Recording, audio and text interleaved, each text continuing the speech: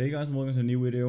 In this video here we're going to do pose classification with uh, the teachable machine provided by Google where in the previous two videos uh, we talked about like object classification and we also did audio classification so we can actually like detect different kind of like audios and then classify them uh, into the classes that we trained our neural network on.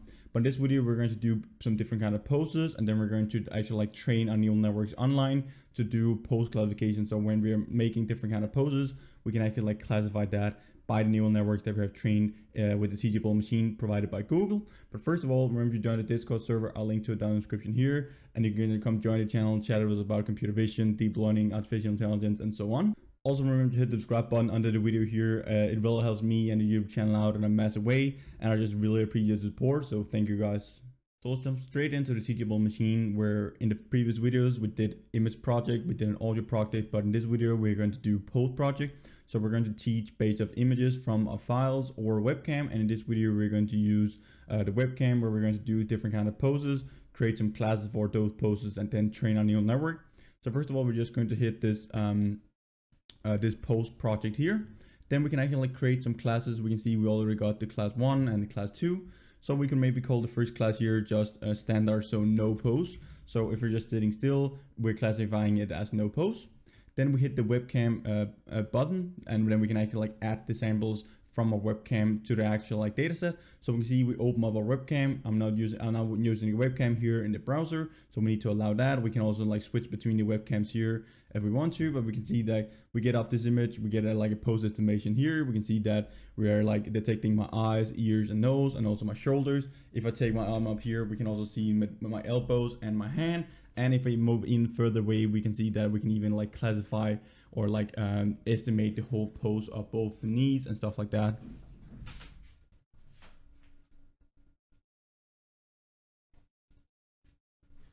So we can take like every single uh, every single piece of our body and we can do pose estimations of all of those. But in this video here, because we're going to like hold the record here to actually like generate our data set, then we're just going to do some simple ones with the hands and also just this no pose class. So here we're just going to have this no pose. We're just going to hold hold to record. Then we're going to add our samples to our data set that we can then use to train our actual neural network. When we hit this train button over here to right later on. So first of all, we're just going to hit hold to record. And then I can move around a bit here in the image frame. So we actually like get some different kind of samples over here to the right. And we're just going for like around 100 samples in the example here. We could also like have less or more samples depend. It, it really depends on like how many different kind of classes and how specific your situations or like your poses are that you want to actually like classify. So here we have generated 101 poses. We can see like all of the different kind of poses we have. So now we have created the first class, which is a no pose class. And then we're going to go down, add an additional class. So in this example, we just have this class two, and we could maybe have like, for example, something uh, wave. So if we're going to wave, we're going to classify that uh, with a specific pose. So we're going to create this wave class. We just again hit the uh, add the pose samples here with our webcam. We could also upload our own files if we have like poses, post like images from our like our own local computer and we want to just train a neural network here uh, in the teachable machine, we can also do that and then just get the model, export the model and then use it in our own projects or applications. So here we're going to have a wave. So I'm just going to hold up my arm like this and this look like a wave. And then we're just going to hold to record here again. And I'm just going to move the uh, arm a bit around here so we can actually classify different kind of poses. So again, we're just having like around 102 samples here. So around 100 so that will um, fit perfectly. Then we're going to create the last class here. So we just have three different classes that we're going to like classify. Then we're going to train our model, preview how the actual like outputs are when we're doing these new uh, poses that our neural network hasn't trained on before. And then at the end, we're going to actually like export our model.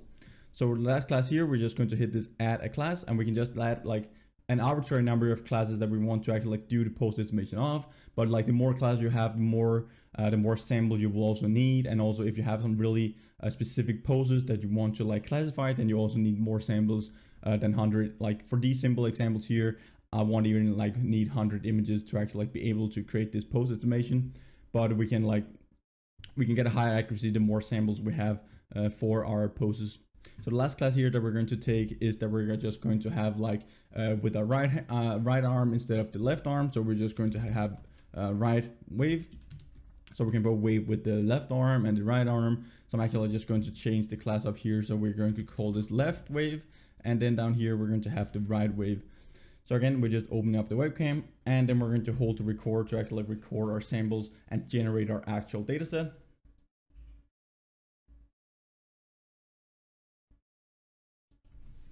So now we have 100 poses, uh, pose examples here in our data set, and we now have all of our classes that we need, want to like train our model on.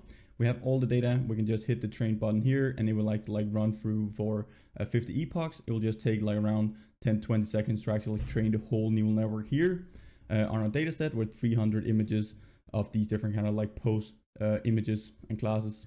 So it actually like took around one minute to train this model here in the in the cloud. So over here to the right, we can see the actual like output. We have again, we have the uh, webcam open. So these are just new images that we're feeding through or uh, through our neural network or a model that we have trained. So we haven't like trained on the images that we get in from the webcam now. And we can see here the output when I'm just sitting still is that we're classifying this uh, situation or like this image as no pose. And we can even see we have just the accuracy of 100%. So it's really certain that this is a no pose uh, class that we're classifying in this example and that is also correct and it's not even flickering it's not going down to like 90 95 it's just 100% accuracy all the time. We can see even if if this bar here is flickering around the shoulder it still predicts like this is a no pose.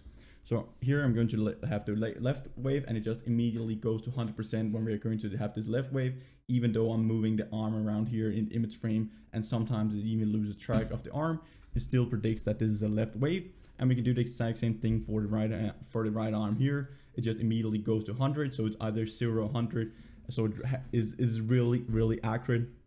And we want to like it's just a really really nice and accurate um, model here that we have trained and when we're going to do predictions on data that it hasn't seen before it's really really good. It has high accuracy but again like these are simple poses. If we had more complex poses and like full body poses we would probably need more samples and sometimes it will like probably flicker around uh, 95 98 percent and stuff like that. But here we just get 100 percent zero or 100 percent right wave left wave and no pose. Immediately go just goes to 100 percent really certain. So this is a really nice and cool uh, example that we can use and we can even go up here and export the model. So we can see how we can export to, for example, like TensorFlow JavaScript, how we can even use it uh, with JavaScript and so on. So I'm going to go into details in other videos uh, where we're actually like going to export the models and create our own applications and then use our models to do or like just to, to deploy the neural networks or the models that we've trained here in Teachable Machine in our own applications and projects. So Thank you guys for watching this video here and remember to hit the subscribe button and bell notification under the video and also like this video here if you like the content and you want more in the future. Just really helps me and the YouTube channel out in a massive way. I'm currently doing this uh, computer vision tutorial where we're going over uh, the basic uh, basic stuff about image processing techniques, camera calibration, like depth estimation with different like with stereo cameras, how we can get get information about the depth in images and how we can estimate uh, distances to objects really cool as well. So if you're interested in computer vision techniques, deep learning and stuff like that, I'll link to the tutorial up here or else I'll see you next video guys. Bye for now.